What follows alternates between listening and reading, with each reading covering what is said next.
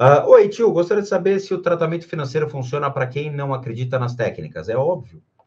Quero fazer para um familiar, mas ele é bastante incrédulo com relação às técnicas. Desde já agradeço. Sim, novamente, você pode oferecer o tratamento, qualquer tratamento, seja problemas físicos, emocionais, mentais, a qualquer um, tá?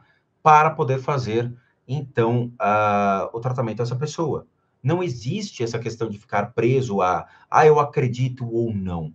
Veja, o PC Siqueira, quando é, eu mandei, na verdade, eu tinha pedido até para Dani falar com o PC na época. Eu falei, pô, Dani, manda uma mensagem lá pro PC e vê se ele realmente está disposto a gravar, está disposto a, a, a, eu poder ajudá-lo. Ele falou, ah, eu não acredito nisso. Eu falei, mas você não precisa acreditar, cara. Você precisa só permitir com que eu faça, tá?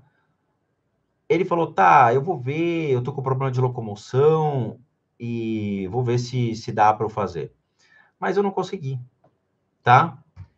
Ah, então, assim, você pode solicitar o tratamento para qualquer pessoa, tá bom?